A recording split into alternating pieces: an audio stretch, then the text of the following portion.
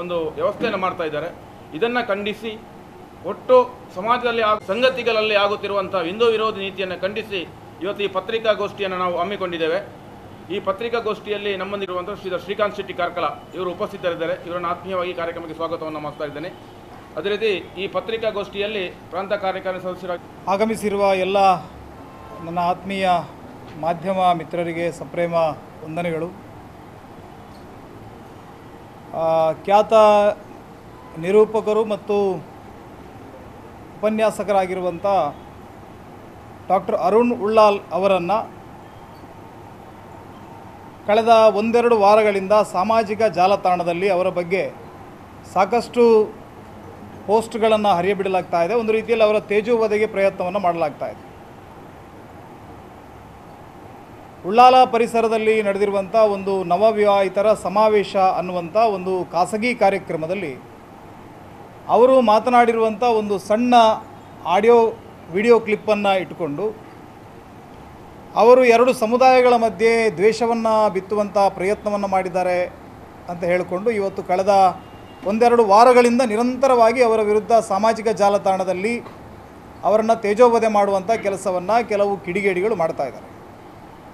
ದುರ್ದೈವದ ಸಂಗತಿ ಅಂದರೆ ಅದರ ಬಗ್ಗೆ ಸರಿಯಾಗಿ ವಿಮರ್ಶೆಯನ್ನು ಮಾಡದೆ ಪೊಲೀಸ್ ಇಲಾಖೆ ಕೂಡ ಒಬ್ಬ ಪಿ ಎಚ್ ಡಿ ಮಾಡಿರುವಂಥ ಒಬ್ಬ ಉಪನ್ಯಾಸಕನ ಮೇಲೆ ಏಕಾಏಕಿಯಾಗಿ ಯಾವುದೇ ಕ್ರಿಮಿನಲ್ ಹಿನ್ನೆಲೆ ಇಲ್ಲ, ಯಾವುದೇ ಸಾಮಾಜಿಕ ಸಾಮಾಜಿಕ ಸಮಾಜ ಬಾಹಿರ ಕೃತ್ಯಗಳನ್ನು ಅವರು ಇವರಿಗೆ ನಡೆಸಿದಂಥ ಇತಿಹಾಸ ಇಲ್ಲ. ಆದರೂ ಕೂಡ ಅವರ ಮೇಲೆ ಒನ್ ನೈಂಟಿ ಸಿಕ್ಸ್ ಸೆಕ್ಷನ್ ಅಡಿಯಲ್ಲಿ ಅವರ ಮೇಲೆ ಪ್ರಕರಣವನ್ನು ದಾಖಲಿಸಿಕೊಂಡು ಪೊಲೀಸರು ಸುಮೋಟವಾಗಿ ಪ್ರಕರಣವನ್ನು ದಾಖಲಿಸಿಕೊಂಡು ಅವರ ಮನೋಸ್ಥೈರ್ಯವನ್ನು ಕಸಿಯುವಂಥ ಪ್ರಯತ್ನವನ್ನು ಮಾಡಿದ್ದಾರೆ. ನಿನ್ನೆ ಯಾರೋ ಒಬ್ಬ ಇಲ್ಲಿ ಪ್ರತ್, ಪತ್ರಿಕಾ ಹೇಳಿಕೆಯನ್ನು ಕೊಟ್ಟು ಅವರನ್ನು ಕೂಡಲೇ ಬಂಧಿಸಬೇಕು ಅಂತ ಹೇಳಿ ಇಲ್ಲಿ ಬಂದು ಪ್ರತಿ ಪತ್ರಿಕಾ ಗೋಷ್ಠಿಯನ್ನು ಕೂಡ ಮಾಡಿದ್ದಾರೆ ಅನ್ನುವಂಥ ನಮ್ಮ ಗಮನಕ್ಕೆ ಬಂದಿದೆ. ನಮಗೆ ಭಾಳ ಆಶ್ಚರ್ಯ ಅಂತ ಅನಿಸೋದು. ಅರುಣ್ ಉಳ್ಳಾಲ್ ಇವತ್ತು ಇಡೀ ನೀವು ಕರಾವಳಿ ಭಾಗದಲ್ಲಿ ನೋಡಿದರೆ ಬಹಳ ಅದ್ಭುತವಾದಂಥ ಒಬ್ಬ ನಿರೂಪಕ, ಒಂದು ಸೃಜನಶೀಲ ಮನಸ್ಥಿತಿಯನ್ನು ಇಟ್ಟುಕೊಂಡಿರುವಂಥ ಒಬ್ಬ ಸಾಹಿತಿ, ಕವಿ, ಅನೇಕ ಕೃತಿಗಳನ್ನು ರಚನೆ ಮಾಡಿದವರು. ಮತ್ತು ಭಾಳ ವಿಶೇಷವಾಗಿ ಎಲ್ಲ ಸಮುದಾಯದ ಜೊತೆಗೆ, ಸ್ನೇಹ, ಸದ್ಭಾವದ ಜೊತೆಗೆ ವ್ಯವಹರಿಸುವಂಥ ಒಬ್ಬ ಭಾಳ ಸಾ, ಒಬ್ಬ ಸೃಜನಶೀಲ ವ್ಯಕ್ತಿತ್ವದ ಮನುಷ್ಯ. ಅವರ ಮೇಲೆ ಈ ರೀತಿಯಾದಂಥ ಒಂದು ದಾಳಿಯನ್ನು ಯಾಕಾಗಿ ಮಾಡ್ತಾ ಇದ್ದಾರೆ ಅನ್ನೋದನ್ನು ನಾವು ಗಮನಿಸಿದಾಗ ಎಲ್ಲೋ ಒಂದು ಕಡೆಯಲ್ಲಿ ಈ ಹಿಂದೂ ಪರವಾದಂಥ ವಿಚಾರಕ್ಕೆ ಯಾರಾದರೂ ಯಾರಾದರೂ ಇಂಟೆಲೆಕ್ಚುವಲ್ಸ್ಗಳು ಬರ್ತಾರೆ ಅಂತ ಆದರೆ ಅವ್ರನ್ನ ತಡೆಯೋದಕ್ಕೆ ಏನು ಮಾಡಬೇಕು ಅನ್ನೋದ್ರ ಬಗ್ಗೆ ಮಂಗಳೂರಿನಲ್ಲೂ ಒಂದು ನೆಕ್ಸಸ್ ಅದರ ವಿರುದ್ಧ ಕೆಲಸವನ್ನು ಮಾಡ್ತಾ ಇದೆ, ಒಂದು ಜಾಲ ಅದರ ಹಿಂದೆ ಕೆಲಸವನ್ನು ಮಾಡ್ತಾ ಇದೆ. ಯಾರೋ ಒಬ್ಬ ತನ್ನನ್ನು ತಾನು ಕಮ್ಯುನಿಸ್ಟ್ ಅಂತ ಕರೆಸ್ಕೊಳ್ಳುವಂಥ ಒಬ್ಬ ಜೇಹಾದಿ ಮಾನಸಿಕತೆಯ ಒಬ್ಬ ವ್ಯಕ್ತಿ, ಆತನ ಒಂದು ಐದಾರು ಜನರ ಪಟಲಂ ಸೇರಿಕೊಂಡು ಸಾಮಾಜಿಕ ಜಾಲತಾಣದಲ್ಲಿ ಇವತ್ತು ಬಹಳ ವ್ಯಾಪಕವಾಗಿ ಅರುಣ್ ಉಳ್ಳಾಲ್ ವಿರುದ್ಧ ಕೆಲಸವನ್ನು ಮಾಡ್ತಾ ಇದ್ದಾರೆ. ಅರುಣ್ ಉಳ್ಳಾಲ್ ಮೇಲೆ ಅವರ ಮೊದಲ ಆರೋಪ ಏನು ಕೇಳಿದರೆ ಅರುಣ್ ಉಳ್ಳಾಲ್ ಅವರು ಧರ್ಮ ಶಿಕ್ಷಣ ಅಭಿಯಾನವನ್ನು ಮಾಡ್ತಾ ಇದ್ದಾರೆ. ಸುಮಾರು ಏಳ್ನೂರು, ಎಂಟುನೂರು ಮಕ್ಕಳಿಗೆ ಹಿಂದೂ ಧರ್ಮ, ಭಾರತೀಯ ಶಾಸ್ತ್ರ ಪರಂಪರೆ, ಆಲಯ ಪರಂಪರೆ, ನಮ್ಮ ಲಲಿತ ಕಲೆಗಳು, ಭಜನೆ, ಜನಪದ ಆಚರಣೆಗಳು, ದೈವಾರಾಧನೆ ಈ ಎಲ್ಲ ವಿಚಾರಗಳ ಬಗ್ಗೆ ವಾರಕ್ಕೊಂದು ತರಗತಿಯನ್ನು ಮಾಡುವಂಥ ಕೆಲಸವನ್ನು ಅವರು ಮಾಡ್ತಾ ಇದ್ದಾರೆ ಮತ್ತು ಸುಮಾರು ಏಳ್ನೂರು, ಎಂಟುನೂರು ಮಕ್ಕಳು ಪ್ರತಿ ವಾರ ಇವರ ಕ್ಲಾಸನ್ನು ತಪ್ಪದೆ ಅಟೆಂಡ್ ಆಗ್ತಾರೆ. ಅವರ ಆಕ್ಷೇಪ ಇರುವಂಥದ್ದು. ಅವರ ಅನೇಕ ಪೋಸ್ಟ್ಗಳಲ್ಲಿ ನೋಡುವಾಗ ನಾವು ಗಮನಿಸಿದ್ದೇವೆ, ಎಳೆಯ ಮನಸ್ಸುಗಳಲ್ಲಿ ವಿಷಬೀಜವನ್ನು ಬಿತ್ತುತ್ತಾ ಇದ್ದಾರೆ, ಧರ್ಮದ ವಿಷಬೀಜವನ್ನು ಬಿತ್ತುತ್ತಾ ಇದ್ದಾರೆ ಅಂತ ಹೇಳಿ ಒಬ್ಬ ಆರೋಪವನ್ನು ಮಾಡಿದ್ದಾರೆ.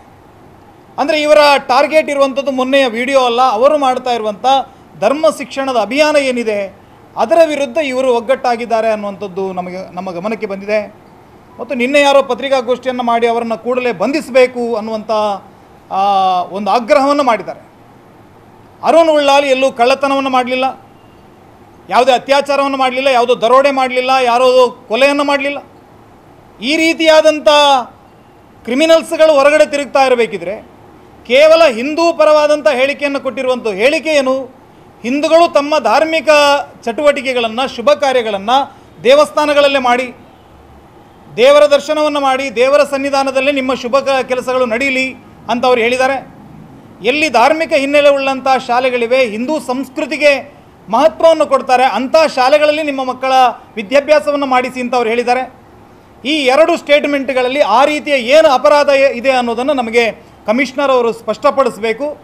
ಮತ್ತು ಹೇಗೆ ಸ್ವಯಂ ಪ್ರೇರಿತವಾಗಿ ಅವರ ಮೇಲೆ ಪೊಲೀಸರು ಪ್ರಕರಣವನ್ನು ದಾಖಲಿಸಿದ್ದಾರೋ ಅದನ್ನು ಪೊಲೀಸರು ಸ್ವಯಂ ಪ್ರೇರಿತವಾಗಿ ಹಿಂದುಗಡೆ, ಹಿಂದಕ್ಕೆ ಪಡೆದುಕೊಳ್ಳಬೇಕು. ಇಲ್ಲದೆ ಹೋದರೆ ಈ ವಿವಾದ ಇನ್ನಷ್ಟು ಮುಂದಕ್ಕೆ ಹೋಗುವಂಥ ಸಾಧ್ಯತೆ ಇದೆ. ಹಿಂದೂ ಸಂಘಟನೆಗಳಾಗಿ ನಾವು ಈ ವಿವಾದವನ್ನು ಇಲ್ಲಿಗೆ ಇದನ್ನು ಕೈಬಿಡೋದಿಲ್ಲ ಯಾರೋ ಒಬ್ಬ ಪಾಪ ಉಪನ್ಯಾಸಕನ ಮೇಲೆ ಒಂದಷ್ಟು ಜನ ಸಾಮಾಜಿಕ ಜಾಲತಾಣದಲ್ಲಿ ಏನೋ ಒಂದಷ್ಟು ಚಟುವಟಿಕೆಯನ್ನು ಮಾಡ್ತಾ ಇದ್ದಾರೆ ಅಂತ ಹೇಳಿ ನಾವು ಕೈಕಟ್ಟಿ ಕೂರೋದಿಲ್ಲ. ನಾವು ಕೂಡ ವ್ಯವಸ್ಥಿತವಾಗಿ ಇದರ ಹಿಂದೆ, ಇದರ ವಿರುದ್ಧ ಒಂದು ಹೋರಾಟವನ್ನು ಮಾಡ್ತೀವಿ. ನಾವು ಎಲ್ಲೋ ಕದ್ದು ಮುಚ್ಚಿ ಮಾಡಲ್ಲ. ಬಹಿರಂಗವಾಗಿ ಇದರ ವಿರುದ್ಧ ಒಂದು ಹೋರಾಟವನ್ನು ಕೈಗೊತ್, ಕೈಗೆತ್ತಿಕೊಳ್ತೀವಿ. ಮತ್ತು ಅರುಣ್ ಉಳ್ಳಾಲ್ ಅವರಿಗೆ ಮುಂದೆ ಏನೆಲ್ಲ ಸಹಕಾರಗಳು ಬೇಕು, ಆ ಸಹಕಾರಗಳನ್ನು ಹಿಂದೂ ಜಾಗರಣ ವೇದಿಕೆಯ ವತಿಯಿಂದ ನಾವು ಕೊಡುವವರಿದ್ದೇವೆ. ಅದು ಕಾನೂನಾತ್ಮಕ ನೆರವಿರ್ಬೋದು, ಅಥವಾ ಅವರಿಗೆ ಯಾವುದೇ ರೀತಿಯಾದಂಥ ಜನರಿಂದ ಬೆದರಿಕೆಗಳು ಬರ್ತಾ ಇವೆ. ವಿದೇಶಗಳಲ್ಲಿ ಕುಳಿತುಕೊಂಡವರನ್ನು ಬೆದರಿಸುವಂಥ ಪ್ರಯತ್ನಗಳಾಗ್ತಾ ಇದೆ. ಇನ್ನೂ ಅನೇಕ ಜನ ಅವರ ಉದ್ಯೋಗವನ್ನು, ಇನ್ನು ಎಲ್ಲೂ ಕೂಡ ಅವರಿಗೆ ಉದ್ಯೋಗವನ್ನು ಕೊಡಬಾರದು ಅನ್ನೋ ರೀತಿಯಲ್ಲಿ ಅವರ ಭವಿಷ್ಯವನ್ನು ಒಂದು ರೀತಿಯಲ್ಲಿ ಕತ್ತಲೆಗೆ ತಳ್ಳಬೇಕು ಅನ್ನುವಂಥ ಪ್ರಯತ್ನಗಳು ನಡೀತಾ ಇದೆ. ಅದರ ವಿರುದ್ಧ ಕೂಡ ನಾವು ಹೋರಾಟವನ್ನು ಮಾಡ್ತೀವಿ. ಮತ್ತು ಯಾರು ಹಿಂದೂ ವಿಚಾರವನ್ನು ಪ್ರತಿಪಾದಿಸ್ತಾರೆ, ಅವರ ಜೊತೆಗೆ ನಮ್ಮ ಸಂಘಟನೆ ಬಲವಾಗಿ ಮುಂದಿನ ದಿನಗಳಲ್ಲಿ ನಿಂತುಕೊಳ್ಳುವುದಿದೆ.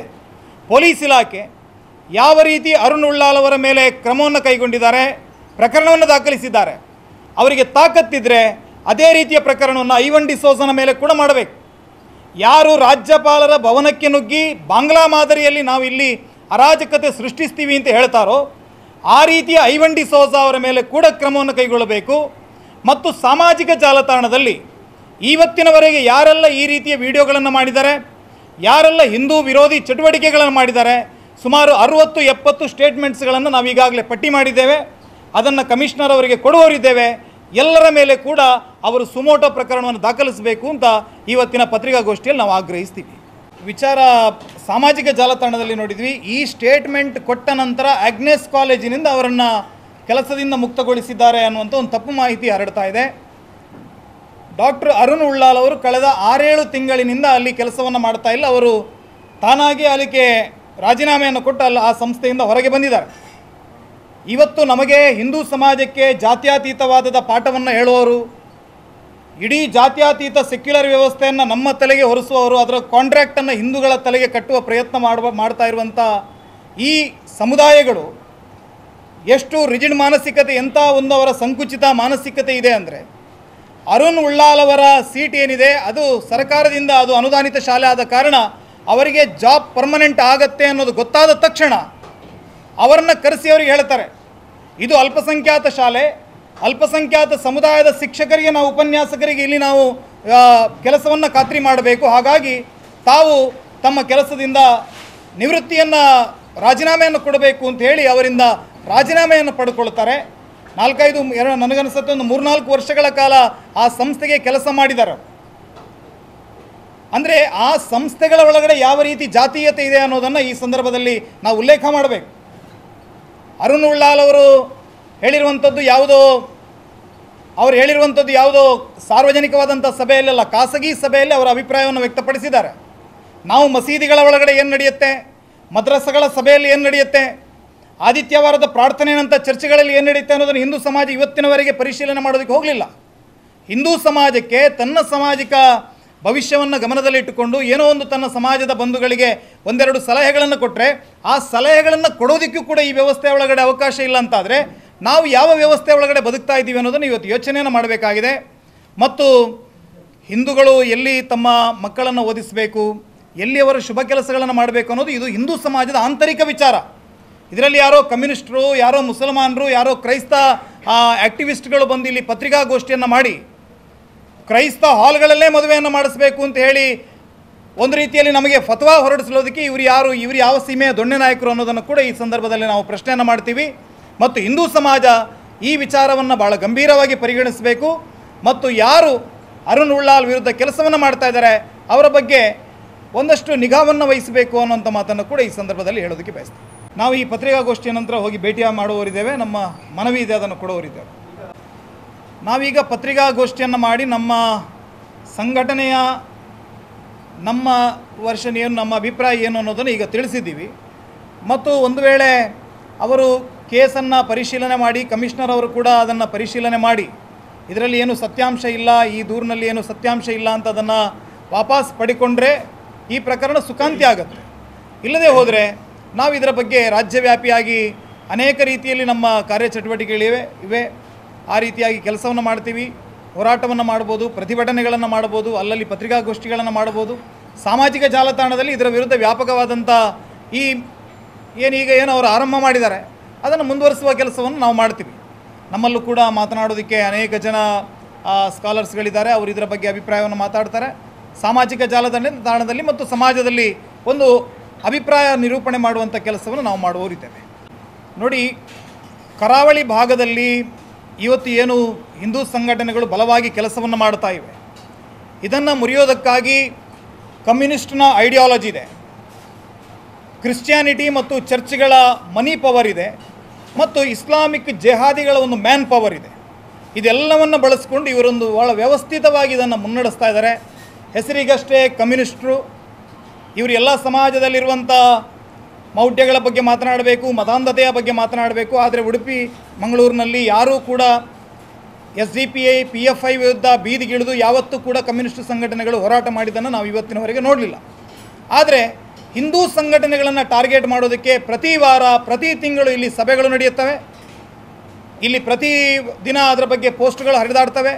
ಯಾರು ತಮ್ಮನ್ನು ತಾವು ಕಮ್ಯುನಿಸ್ಟ್ರು ಅಂತ ಹೇಳ್ತಾ ಇದ್ದಾರೋ, ಅವರು ಕೇವಲ ಹಿಂದೂ ಸಂಘಟನೆಗಳನ್ನು ಟಾರ್ಗೆಟ್ ಮಾಡೋದನ್ನು ಮಾತ್ರ ನೋಡ್ತಾ ಇರುವಾಗ ನನಗನಿಸ್ತಾ ಇದೆ, ಇದು ಭಾಳ ವ್ಯವಸ್ಥಿತವಾಗಿ ನಡೀತಾ ಇರುವಂಥ ಕೃತ್ಯಗಳು. ಮತ್ತು ಈ ಕೃತ್ಯಗಳ ವಿರುದ್ಧ ನಾವು ಕೂಡ ಒಂದು ರೀತಿಯ ಸಂಘಟಿತ ಹೋರಾಟವನ್ನು ಮುಂದುವರಿಸ್ತೀವಿ. ಕಾನೂನಾತ್ಮಕವಾಗಿ ಈಗ ಕೇಸ್ ಆಗಿದೆ. ಅದಕ್ಕೆ ಏನು ನಮ್ಮ ಕಡೆಯಿಂದ ಕ್ರಮಗಳಾಗಬೇಕು, ಅದನ್ನು ನಾವು ಮಾಡ್ತಾ ಇದ್ದೀವಿ. ಅದಕ್ಕೆ ಅವರಿಗೆ ಪೂರ್ತಿಯಾಗಿ ಏನೆಲ್ಲ ನೆರವು ಬೇಕು ನಾವು ಅವರ ಜೊತೆ ಗಟ್ಟಿಯಾಗಿ ನಿಂತ್ಕೊಳ್ಳೋರಿದೆ. ಅಲ್ಲ, ನಾನು ನೋಡಿ, ಆ ಪ್ರಕರಣದಲ್ಲಿ ಆ ಆ ಟೀಚರನ್ನು ಸಸ್ಪೆಂಡ್ ಮಾಡುವಂಥ ಕೆಲಸಗಳಾಯಿತು. ಸಸ್ಪೆಂಡ್ ಮಾಡಿದ ಸ್ವಲ್ಪ ದಿನದ ಕಾಲ ಅಮಾನತು ಮಾಡಿದರು ಅಂತ ಕಾಣುತ್ತದೆ. ಅನಂತರ ಬಹುಶಃ ಮೊನ್ನೆ ಕಾಪು ಕಾಪು ಪರಿಸರದಲ್ಲಿ ಕೂಡ ಈ ಥರದ ಶಾಲೆ ಒಳಗಡೆ ಒಂದು ಘಟನೆ ಆಯಿತು. ಒಬ್ಬರು ಮಹಿಳೆ ಟೀಚರ್ ಹಿಂದೂ ಪಾಠಗಳನ್ನು ಸ್ಕಿಪ್ ಮಾಡಿದ್ದಾರೆ. ಎರಡು ಮೂರು ಹಿಂದೂ ಸಂತರ ಪರಂಪರೆ, ನಮ್ಮ ಕರಾವಳಿ ವಿಚಾರಗಳು, ಕರಾವಳಿಯ ದೇವಗುಲ ಈ ಎಲ್ಲ ಸಮಾಜ ವಿಜ್ಞಾನದಲ್ಲಿ ಬರುವ ಈ ಯಾವುದೇ ಪಾಠವನ್ನು ಮಾಡದೆ ಮುಂದುವರಿಸ್ಕೊಂಡು ಹೋಗಿದ್ದಾರೆ. ಮಕ್ಕಳು ಪ್ರಶ್ನೆ ಮಾಡಿದಾಗ, ಪರೀಕ್ಷೆಯಲ್ಲಿ ಆ ಪಠ್ಯಕ್ಕೆ ಸಂಬಂಧಪಟ್ಟ ಪ್ರಶ್ನೆ ಬಂದರೆ ನಾವು ಅದನ್ನು ಕೊಡೋದಿಲ್ಲ, ಬೇರೆ ಪ್ರಶ್ನೆ ನಿಮ್ಗೆ ಕೊಡ್ತೀವಿ ಅನ್ನೋ ಮಟ್ಟಕ್ಕೆ ಒಬ್ಬರು ಮಹಿಳೆ ಹೇಳಿದರು. ಈ ಮಟ್ಟದ ಹಿಂದೂ ದ್ವೇಷ ಯಾಕೆ ಅನ್ನೋದು ನಮ್ಮ ಪ್ರಶ್ನೆ. ಜರೋದದ ಬಗ್ಗೆ ಬಹುಶಃ ನಾನು ಆ ಹೋರಾಟದಲ್ಲಿ ಇರಲಿಲ್ಲ, ನನಗೆ ಅಷ್ಟು ಅವು ಏನು ಟೀಚರ್ ಸಸ್ಪೆಂಡ್ ಆದ್ರು ಟೀಚರ್ ಸಸ್ಪೆಂಡ್ ಆದರೂ ಆನಂತರ ನಾವೇನು ಶಾಲೆ ಮುಗಿಸೋಕೆ ಆಗಲ್ಲ. ಹ್ಞೂ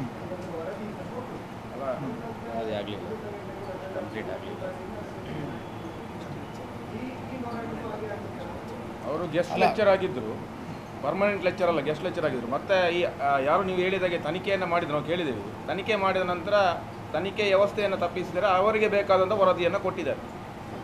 ಎಲ್ಲ ಇದರಲ್ಲಿ ಆಗ್ತಾ ಇದೆ ಅದೇ. ಈಗ ಮೊನ್ನೆ ಐವನ್ ಡಿಸೋಜ ಮೊನ್ನೆ ಮತ್ತೊಂದು ವಿಷಯ ಅಂದರೆ ಇವರು ಉಲ್ಲೇಖ ಮಾಡಿದರು.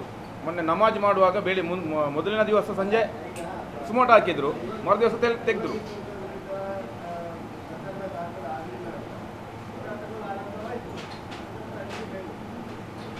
ಐವನ್ ಡಿಸೋಜ ವಿರುದ್ಧ ಪ್ರತಿ ಜಿಲ್ಲೆಗಳಲ್ಲಿ ನಾವು ಮನವಿಯನ್ನು ಮಾಡಿತ್ತು ಅವರ ಮೇಲೆ ಪ್ರಕರಣ ದಾಖಲು ಮಾಡಬೇಕು. ಬಾಂಗ್ಲಾದ ಸ್ಥಿತಿ ನಮ್ಗೆ ಗೊತ್ತಿದೆ. ಅದೇ ಸ್ಥಿತಿ ಇಲ್ಲಿ ಆಗುತ್ತೆ ಅಂದರೆ ಅವ್ರು ಏನು ಸೂಚನೆ ಕೊಡ್ತಾ ಇದ್ದಾರೆ ಹಾಗಾಗಿ ಅವರ ಮೇಲೆ ಪ್ರಕರಣ ದಾಖಲಾಗಬೇಕು ಅಂತ ನಾವು ಎಲ್ಲ ಕಡೆಗಳಲ್ಲಿ ಮನವಿ ಕೊಟ್ಟಿದ್ದೀವಿ. ಆದರೆ ಅದು ಅದರಲ್ಲೂ ಕೂಡ ಯಾವುದೇ ಪ್ರಕರಣ ದಾಖಲಾಗಲಿಲ್ಲ ಅಂತ ನನಗೆ ಅನಿಸುತ್ತೆ. ಅಂದರೆ ಇಡೀ ವ್ಯವಸ್ಥೆ ನಮ್ಮ ವಿರುದ್ಧ ಇದೆ, ಸರ್ಕಾರ ನಮ್ಮ ವಿರುದ್ಧ ಇದೆ. ನಾವು ಏನೇ ಪ್ರ, ಪ್ರಯತ್ನ ಮಾಡಿದರೂ ಕೂಡ ಅದು ಒಂದು ಹಂತಕ್ಕೆ ಅದು ವಿಫಲ ಆಗ್ತಾ ಇರುವಂಥದ್ದು ನಾವು ಗಮನಿಸ್ತಾ ಇದ್ದೀವಿ. ಆದರೂ ಕೂಡ ಇಲ್ಲೂ ಕೂಡ ಅದೇ ರೀತಿಯಾದಂಥ ಯಾವುದೇ ಪ್ರತಿಕ್ರಿಯೆ ಸರ್ಕಾರದ ವತಿಯಿಂದ, ಪೊಲೀಸ್ ಇಲಾಖೆಯ ವತಿಯಿಂದ ಆಗದೇ ಇದ್ದರೆ ಒಂದು ಬಹಿರಂಗವಾಗಿ ಸಾರ್ವಜನಿಕ ಸಭೆಯನ್ನು ಆಯೋಜನೆ ಮಾಡ್ತೀವಿ. ಭಾಳ ದೊಡ್ಡ ಮಟ್ಟದಲ್ಲಿ ಇದನ್ನು ಪ್ರತಿಭಟನೆಯ ರೂಪಕ್ಕೆ ತೆಗೆದುಕೊಂಡು ಹೋಗುವಂಥ ಕೆಲಸವನ್ನು ಮಾಡ್ತೀವಿ. ನಮಗೆ ಉಪಸ್ಥಿತರಿದ್ದು ಸಹಕಾರ ಕೊಟ್ಟಂಥ ಪತ್ರಿಕಾ ಮಾಧ್ಯಮದ ಹಾಗೂ ದೃಶ್ಯ ಮಾಧ್ಯಮದ ಎಲ್ಲ ಬಂಧು ಮಿತ್ರರಿಗೆ ಹಿಂದೂ ಜಾಗರಣ ವೇದಿಕೆ, ಮಂಗಳೂರು ವಿಭಾಗದ ವತಿಯಿಂದ